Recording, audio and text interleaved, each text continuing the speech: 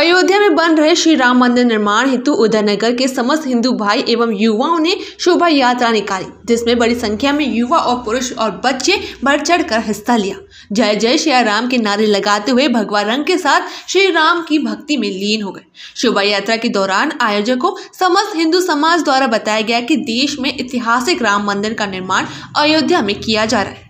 यह यात्रा श्री राम मंदिर से इमलीपुरा, जूना बाज़ार, लक्ष्मी चौराहे होते हुए कृष्ण चौक, उदयनगर तक भव्य शोभा यात्रा निकाली गई। पूरे क्षेत्र में भ्रमण कर समाप्त हुई। शोभा यात्रा के दौरान राम भक्त बैंड बाजों की ताल पर नाचते, गाते, हाथों में भगवा झंडा लिए जय श्री राम के नारे लगाते चल रहे थे। वहीं पूरे क्षेत्र जय जय सिया राम के नारे गूंजने लगे। शोभा यात्रा के दौरान श्री राम जी की महाआरती का भी आयोजन किया गया।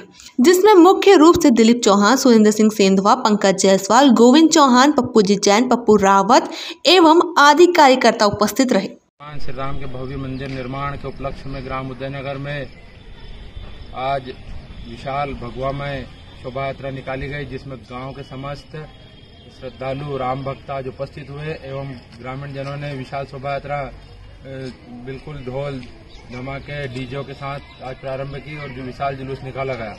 आपका नाम? विजेंद्र दांगी।